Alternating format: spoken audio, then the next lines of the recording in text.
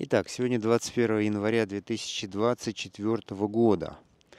Э, люди, в принципе, настолько разнообразны в своих проявлениях, в своих социальных, поведенческих каких-то обрядах и обычаях, что можно сказать, это похоже чем-то на деревья в лесу или вообще на какой-нибудь, на природные, на кустарники, лес, ну, то есть на растительный мир природы, он тоже настолько разнообразен, и все это уживается вместе, иногда не уживается, иногда уживается, э, вместе, несмотря на их очень большое разнообразие и очень большие, как сказать, различия в условиях жизни, принципах жизни.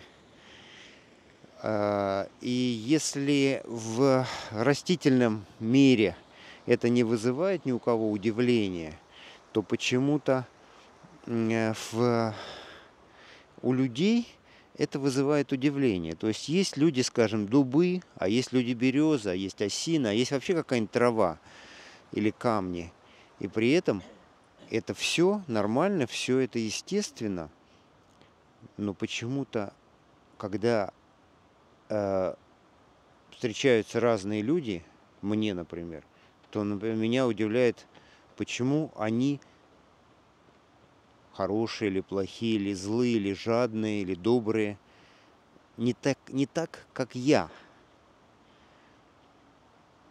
То есть я этому как бы не удивляюсь, потому что я это понимаю, но все равно э, я внутри удивляюсь, почему людей, похожих на меня, очень мало или вообще нету вообще нет в моем окружении, но может быть и все, и каждый человек так думает. То есть каждый человек отличается от всех остальных столь сильно, что кажется ему, что он единственный такой, единственный такой и неповторимый, и что он один из миллиона. А на самом деле просто каждый человек настолько отличается от всех остальных, то есть разнообразие – внутри меня, как я себя вижу из своей головы, со всем остальным окружающим миром, это настолько разительно и настолько отличается, что мне кажется, что я один и все остальные вокруг. А на самом деле мы все, каждый один. Вот так. Вот в природе это все нормально, и все это уживается. То есть такой лес, такой лес, особенно в диком, конечно, лесу. Не то, что если это не парк какой-нибудь, где все подстригается – под линейку, или там французский парк, английский парк, где какие-то условия соблюдаются, и они выдерживаются специально искусственно. А нормально, обычный лес. То есть и э, березовая роща хороша, и темный ельник хорош.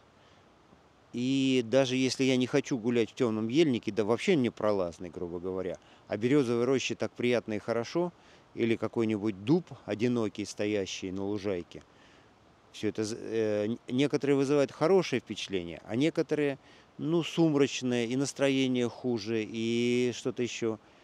Вот, грубо говоря, негативные эмоции, будем так считать, или отрицательные, а некоторые позитивные эмоции. Но они, все это существует, и все это имеет место быть, и это не является причиной, например, вырубать темный ельник и сажать березовую рощу. Вот такие примерно мысли.